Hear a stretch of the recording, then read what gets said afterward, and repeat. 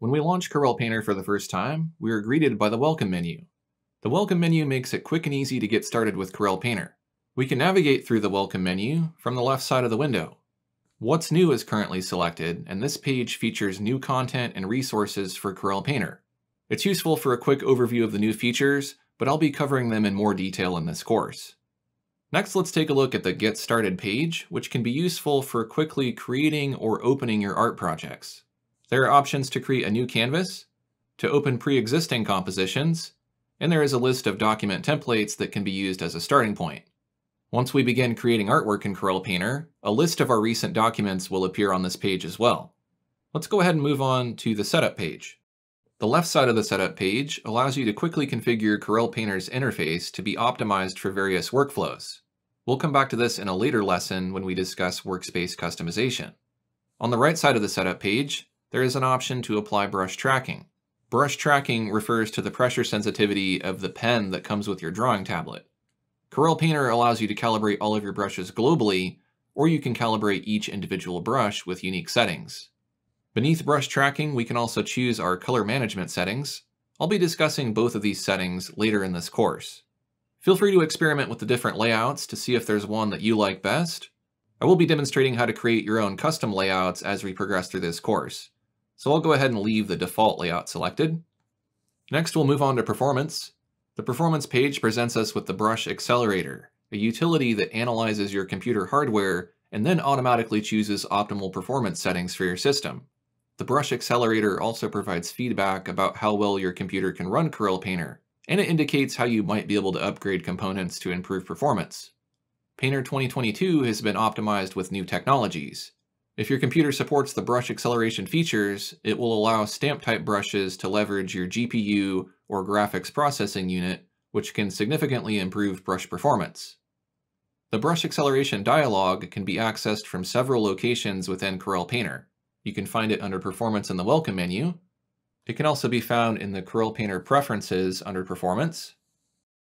And you can find it under Advanced in the Properties bar, and then click on the Brush Accelerator button in the Performance panel. I'll choose the brush accelerator that's located in the Welcome menu. It's important to run this before you do anything else to ensure Painter is running optimally on your system. Before I run the test, I want to close any unnecessary applications that might be running on my computer. Next, I will click on Optimize Now. Once the test starts, some brushstrokes will begin to appear on the test canvas. Be sure not to press any buttons on your keyboard or do anything else on your computer until this test is finished. Once the test is complete, you will be presented with your score. The score gives you an idea of how well your computer is able to run Corel Painter. If you rerun the test like I have, you may notice that your score goes up or down. In my case, my score has gone down from about 14,000, because now I'm using some of my computer resources to record my screen. I know there are a lot of artists out there who already know a CPU from a GPU, but I'm going to do my best to break this down into layman's terms so everybody can understand the information being presented here. Corel Painter says my brush acceleration score is awesome, and I should expect exceptional performance. Next to that, I can see which components are responsible for accelerating the performance of Painter and the distribution of their effect. First is baseline, which represents Painter's performance without any acceleration, so you have a reference. Next is the effect of multi-core processing from my CPU. That's helping a little bit, but what's having the greatest effect on performance on my system is my GPU, or Graphics Processing Unit. This means that brushes that support GPU acceleration will benefit the most, and I will experience up to 75 times the baseline performance. Or in this case, 66.8 since I'm using some computer resources to record this course. With brushes that only support CPU acceleration, I will experience around 18 times the baseline performance.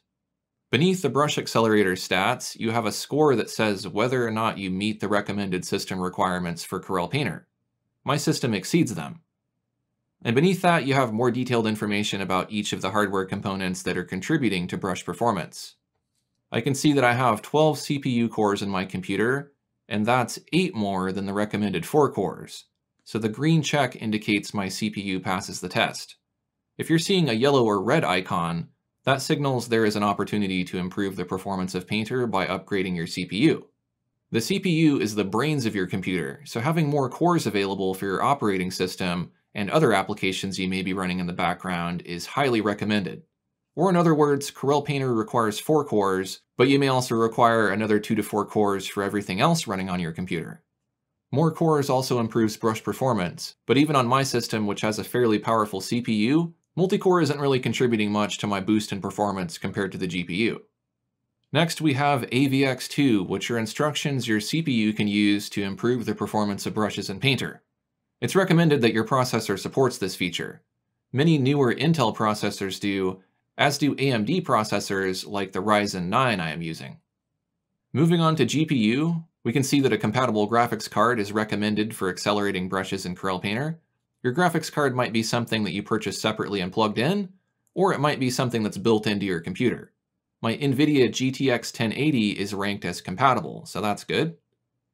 If you have a powerful video card installed, but it's not listed as compatible, there are known compatibility issues with some video cards, and unfortunately there is not an official list of cards for you to reference. In some cases, an incompatible GPU score can be resolved by selecting the correct video card. If you have multiple GPUs on your system, I will discuss how to do that later in this course.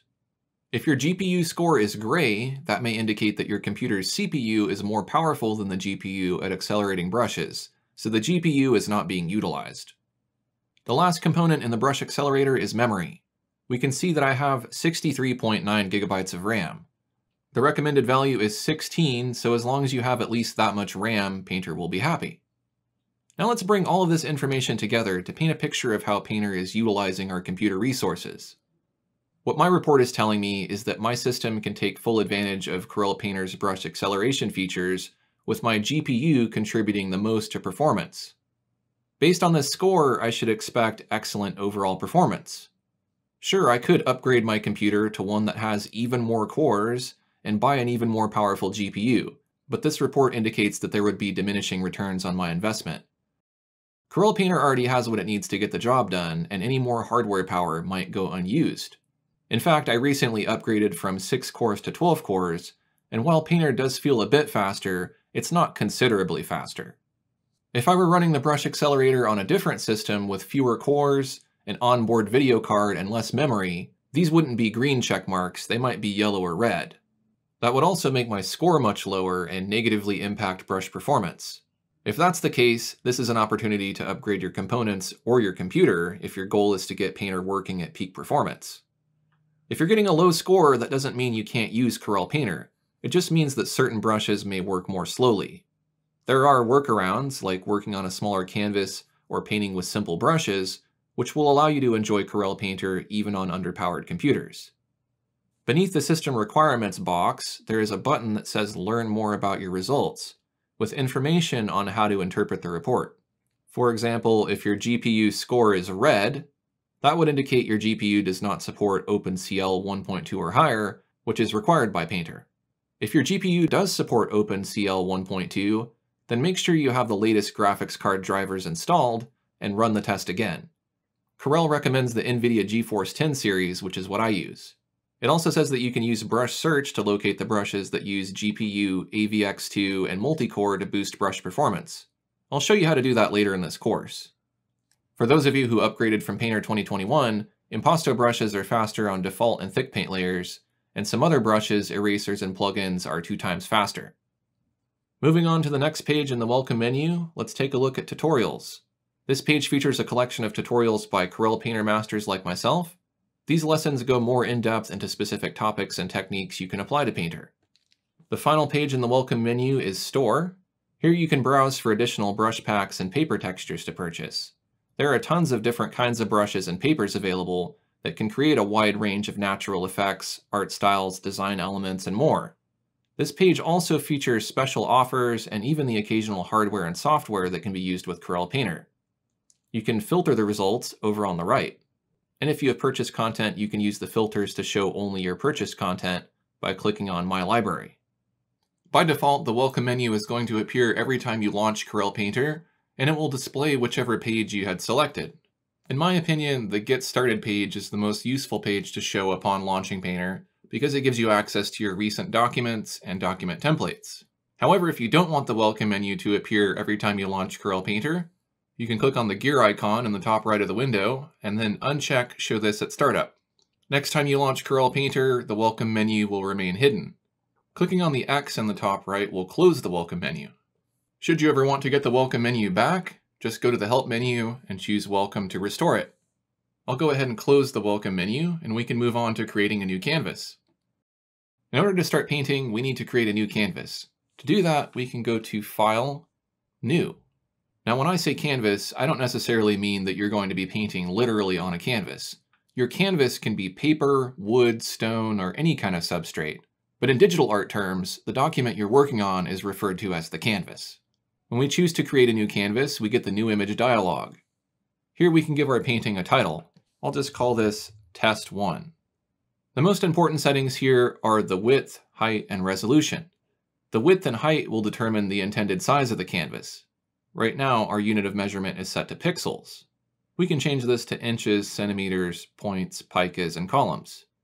Most commonly, you'll be using inches if you're creating artwork for print. If you're creating artwork specifically for the web, then you'll be using pixels. Let's go ahead and set it to inches. Now we don't want to just choose an arbitrary width and height. We want to choose a canvas size that will match standard frame and print sizes, such as 4x6, 8x10, 11x14, and 18x24. Choosing a standard print and frame size ensures that your image matches the size of the paper or canvas you are using for your print. If the image does not match your print size, then the artwork will have to be cropped, or you will have to add a border around your artwork. Another advantage to using a common print size is that the aspect ratio of the image remains consistent as you scale larger or smaller. For example, if I create a canvas that is 18 inches by 24 inches, I can also scale the print down to 16 by 20, 11 by 14, and 8 by 10 without cropping too much off. When choosing a canvas size, try to imagine the largest you would want to print the image, and then make your decision based on that. That's because when it comes to resizing artwork, scaling your image smaller doesn't harm the image quality, but if you try to enlarge the artwork, it's going to become blurry and pixelated. So resizing artwork is kind of a one-way street. Let's go ahead and choose 10 inches wide by 8 inches tall. The next setting is resolution, which determines the amount of detail in the image. A painting with a higher resolution will have sharper, finer details than a low resolution painting. If you look closely at a high resolution painting, you will see more detail than you would if you zoomed in to a low resolution painting. There are some general rules that you can follow to choose an ideal resolution. If you'll be printing your artwork, 300 pixels per inch is the standard resolution, but you can certainly add or remove resolution to suit your needs. If you're working in pixels, you don't have to worry about resolution since the image will be displayed based on its pixel dimensions. I'm not going to dive too deep into how resolution affects the width and height of your artwork in this lesson, but I do have a reference video you can watch about that subject if you want to learn more. Another important consideration when choosing a resolution is file size. Extra large or very high resolution canvases require a lot more processing power from your computer, Corel Painter will begin to behave slowly the larger a file you create. For example, 18 by 24 inches or larger is a good threshold for starting to reduce your resolution. You could reduce the resolution to 240 or even 150. That's because this is a larger piece of artwork, and if you were to print it out at this resolution, it would likely be viewed from a distance and not up close like a smaller print would be.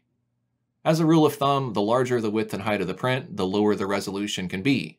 The smaller the artwork, the higher the resolution can be. I'll set the resolution to 300, and that's the canvas we'll be working on for this demonstration. It is possible to create canvas presets to reuse later. We'll dive a bit deeper into how to do that later in this course. Beneath resolution are the orientation buttons. You can use these to swap the width for the height and rotate the canvas orientation. On the right side of the new image dialog are canvas options. You can change the canvas or paper color if you want to tone it and you can choose the paper texture. We're going to look at how to use these later in the course, so we'll just leave these set to their defaults. Beneath that is a checkbox for Start Painting on a Layer. By toggling this on, Painter will automatically create a new blank layer for you to paint on. Below the checkbox is a menu for layer type. Here you can choose the type of layer you want to create.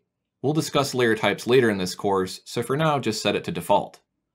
If you plan to paint on a transparent background, you can also turn on the Hide Canvas checkbox.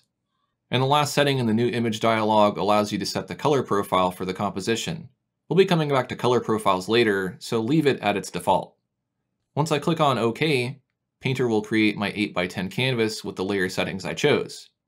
If you're working on a Mac, your screen may look different than mine because I'm working on a Windows computer.